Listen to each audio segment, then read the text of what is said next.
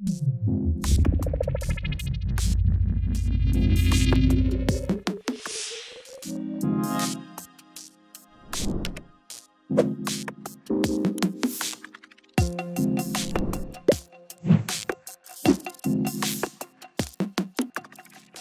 ่ะก็ถ้าถามเกี่ยวกับมุมมองในเรื่องของอนาคต ในเรื่องของการบริหารนะคะ ในเรื่องของ leadership ซึ่งโดยส่วนตัวเนี่ยคือจิ๊บมองว่าสำคัญสิ่งที่มันจะเกิดขึ้นในโลกของอนาคตเนี่ยจริง ๆ มีอยู่ 3-4 ประเด็น เรื่องแรกในมุมของ leadership ในเชิงของ future นะคะจิ๊บว่าสิ่งที่ leadership ต้องมีในโลกแห่งอนาคตเนี่ยก็คือเรื่องของ flexibility กับเรื่องของ adaptability เพราะว่าอย่างที่เรารู้ว่าณปัจจุบันเนี่ยโลกเปลี่ยนเร็วมาก เพราะฉะนั้นเนี่ยการที่เราเป็น leadership เนี่ยเรื่องของมุมมองในเรื่องของการเปลี่ยนแปลง ในสิ่งต่างๆ ที่จะเกิดขึ้นในโลกอนาคตที่เราคาดเดาไม่ได้เลยเนี่ยอันนี้เป็นสิ่งหนึ่งที่ผู้บริหารต้องให้ความสำคัญมากๆนะคะ เรื่องที่2เนี่ยก็คือเรื่องของการ foresight เรื่องของอนาคต คือเราต้องมองเห็น scenario เรื่องต่างๆ ที่จะเกิดขึ้นในอนาคตนะคะแล้วก็เราก็ต้องเตรียมความสามารถที่จะรองรับกับ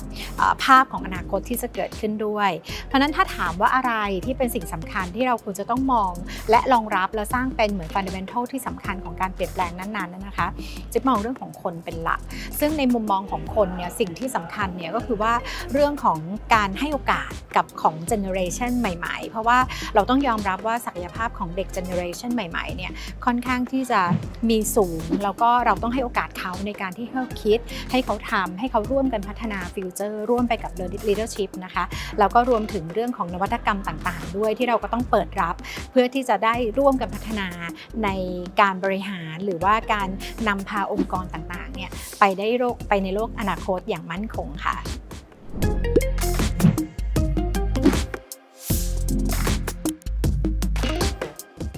ค่ะสำหรับทีม A เนี่ยคิดว่าเป็นหน่วยงานที่ช่วยผลักดันในเรื่องของ leadership อยู่แล้วนะคะ ในแง่ของการเสนอมุมมองใหม่ ๆ ไม่ว่าจะเป็นเรื่องของการบริหาร หรือเรื่องขององค์ความรู้ต่างๆ ที่เราเห็นว่าทีม A เนี่ยพร้อมที่จะนำพาในการพัฒนาความรู้ความสามารถของผู้บริหารของประเทศอยู่ตลอดเวลาเลย แล้วก็